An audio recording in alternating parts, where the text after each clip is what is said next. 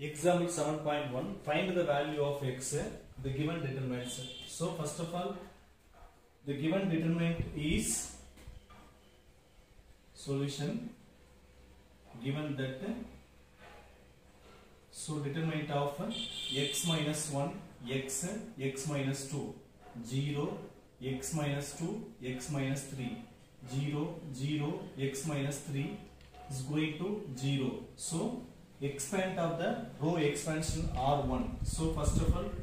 so this one is going to first terms is considered that x minus 1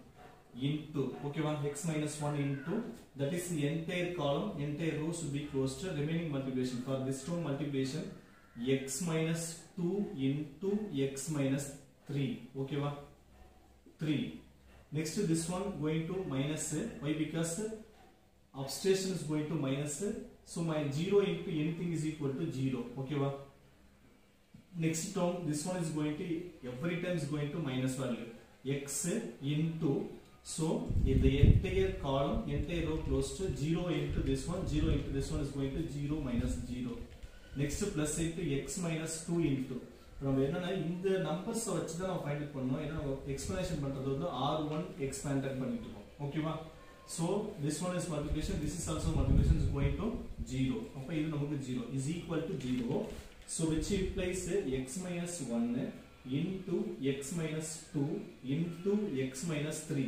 so remaining 0 next one this is also 0 this is also 0 is equal to 0 for remaining this one only x minus 1 into x minus 2 into x minus 3 is equal to 0 now x minus 1 is equal to 0 X minus 2 is equal to 0 x minus 3 is equal to 0 so x is equal to 1 x is equal to 2 x is equal to 3 so the value of x is equal to value of x is equal to 1 comma 2 comma 3 we get the solution okay